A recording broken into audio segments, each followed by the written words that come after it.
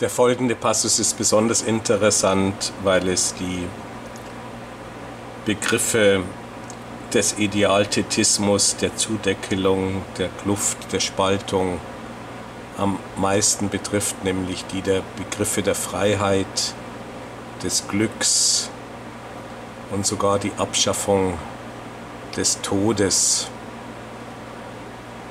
als Utopie betrifft. Ja, ich glaube, dass du eine ganze Reihe von, ja, wie soll man sagen, Illustrationen ganz verschiedene Typen utopischen Bewusstseins beigebracht hast. Das hat mit der Sache sehr viel zu tun. Es gibt nämlich nicht so etwas wie einen einzelnen fixierbaren utopischen Inhalt. Wenn ich von dem Ganzen gesprochen habe, so habe ich dabei keineswegs nur an äh, das System des äh, Zusammenlebens der Menschen gedacht, sondern wirklich daran, dass alle Kategorien sich ihrer eigenen Zusammensetzung nach äh, verändern können. Ich würde also sagen, es gehört zum Begriff der Utopie wesentlich dazu, dass sie nicht darin besteht, dass sich eine bestimmte, einzelne, herausgegriffene Kategorie verändert, von der aus sich alles konstituiert, zum Beispiel die Kategorie des Glücks, allein als Schlüssel der Utopie anzunehmen. Auch nicht die Kategorie der Freiheit?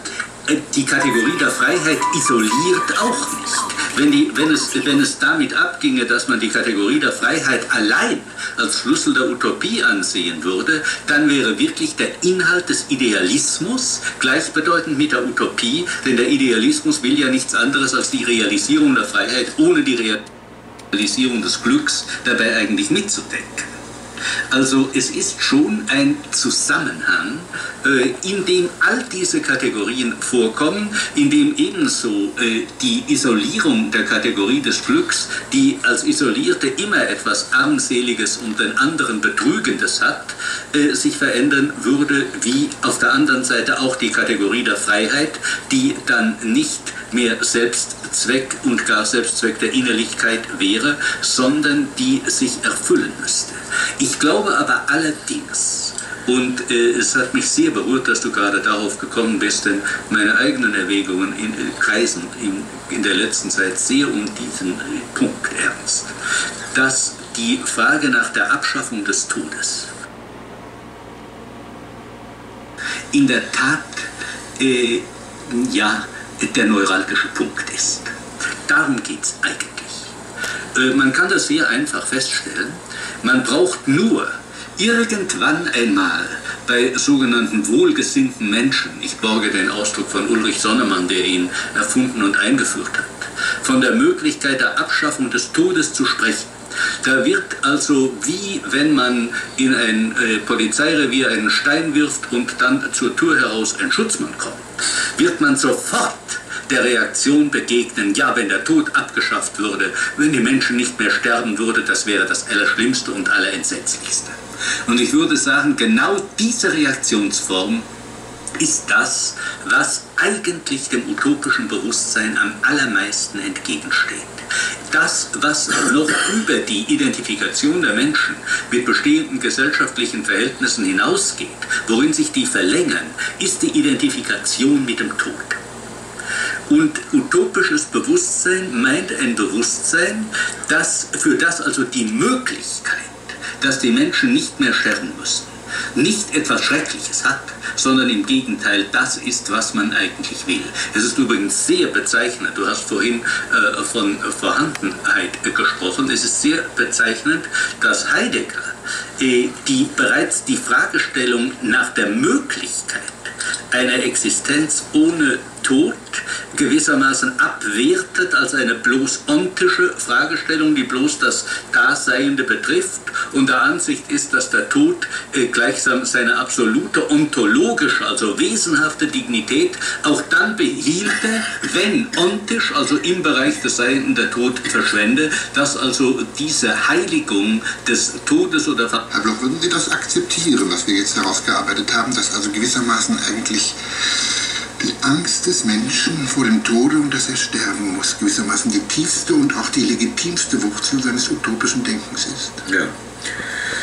Der Beitrag am Ende macht allen unseren mindestens individuellen Zweckreihen ein Ende. Entwertet also auch das Vorher.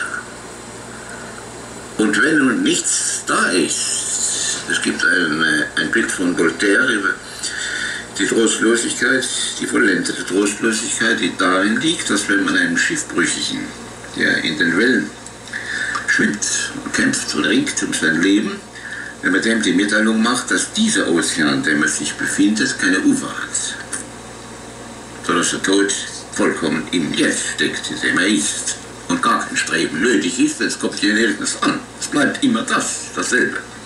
Also diese stärkste Gegenutopie ist allerdings etwas, ich weiß nicht, ob das der Gang unserer Handlung ist, auf den wir zusteuern, aber zur Erschwerung mag es doch gesagt werden, denn sonst gäbe es nämlich dieses heideggerische Wesen gar nicht. Wenn nicht hier in dieser Realität, die unausweichlich ist und die keine Geschichte bisher hat, keine Veränderung hat in ihrem realen Vorgang, wenn diese Realität nicht selbst sich so außerordentlich sperrte dagegen. Die Brohres Exempel, aber damit kommen wir auf ein, auf ein Gebiet, das dieses äh, transzendiert. Ich habe schon als Transzendenz verachten, die Freiheit. Das ist meiner Meinung nach schon ein Transzendieren aus den Sozialutopien heraus, denn die reden davon zwar, aber im Sinn des Glücks ist das bestmögliche Zusammenleben durch Freiheit oder durch Ordnung bestimmt. Da ist die Freiheit eine, eine Variable oder eine Hilfskonstruktion für das bestmögliche Leben. Freiheit als Pathos kommt nicht in der Utopie vor dem Naturrecht, und zwar im liberalen Naturrecht des 18. Jahrhunderts, in Verbindung mit aufrechtem Gang. Das ist auch im Raum von objektiver realer Möglichkeit, aber nicht dasselbe ist soziale Utopie. Und das andere gar. Äh, mir sagte ein Theologe, diese zwei Glieder, diese zwei utopischen Glieder, hier einmal auch das Naturrecht utopisch genannt, Abschaffung, Konstruktion eines Zustands, in dem es keine mühseligen Balladen gibt. Das wäre der Inhalt der Sozialutopien, das habe ich versucht darzustellen. Naturrecht ist Konstruktion eines Zustands, in dem es keine erniedrigten Beleidigten gibt. Das ist das Zweite. Das ist auch möglich. Aber nun das Dritte, womit die sich abgeben, und ist doch nicht das Wunder, sondern der Tod ist des Glaubens liebstes Kind, lässt sich dann hier sagen. Und ein Wunder gehört dazu, um den Tod aus dem Sichtreis zu bringen. Das heißt dann Auferstehung Christi. Dieser Glaube, dieses, dieses andere dagegen, Wer rettet mich vor dem Tod, vor den Kiefern des Todes? Wie es in der Bibel heißt, im Neuen Testament. Dieses ist doch transzendent, das können wir ja nicht machen. Da muss man nur die Taufe, der Tod Christi, Auferstehung haben. Es ist also etwas, das auch das Utopische in der Wahl seiner möglichen Mittel transzendiert und gehört zur Utopie.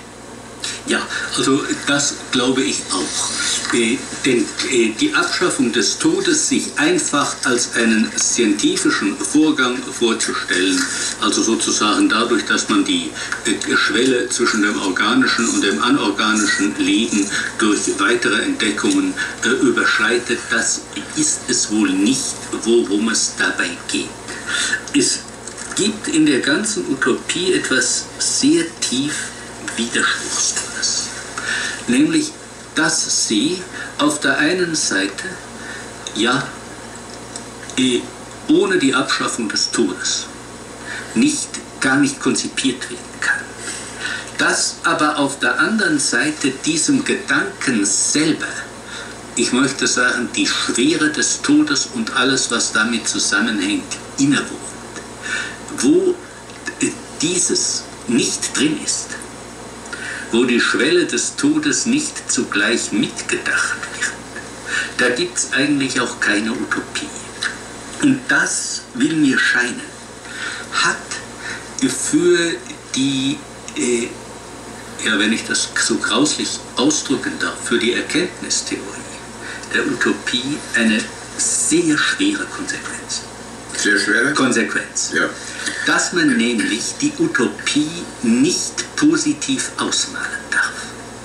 Jeder Versuch, die Utopie nun positiv einfach zu beschreiben, auszumalen, so und so wird das sein, wäre äh, ein Versuch, über diese Antinomie des Todes hinwegzugehen und so zu reden, von der Abschaffung des Todes, als ob der Tod nicht wäre.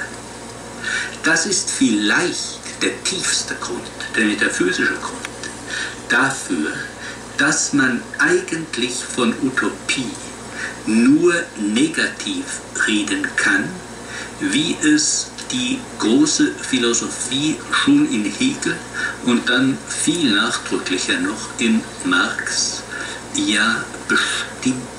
Negativ heißt nicht in Abwertung natürlich. Nicht, nein, nicht in Abwertung sondern, der Utopie, ja. sondern nur in der bestimmten Negation dessen, was ist. Mhm. Weil das die einzige Gestalt ist, in der ebenso äh, der Tod mit ist, mit drin ist. Und deshalb glaube ich, aber das ist nun sehr thesenhaft, dass das Verbot des Auspinselns der Utopie oder das Verbot, äh, bestimmte Utopien im Einzelnen zu entwerfen, wie es Hegel und Marx haben. Hegel? Hegel hat es insofern, als er den Weltverbesserer prinzipiell ja abwertet und ihm gegenüber, und das hat Marx unmittelbar von ihm genommen, äh, den Gedanken der objektiven Tendenz setzt und die Verwirklichung des Absoluten, also das, was man bei äh, Hegel Utopie nennen könnte oder in seiner Jugend nennen musste, hat ja genau in diesem Moment eben bestanden.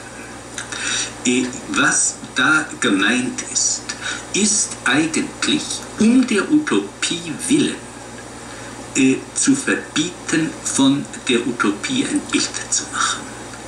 In tiefem Zusammenhang mit dem Gebot, du sollst dir kein Bild machen, das wahrscheinlich ebenso die Abwehr der zu billigen, der falschen, der Utopie ist, die sich abkaufen lässt, wie eigentlich gedacht wird, um der Wirklichkeit der Utopie, um der Wahrheit selber.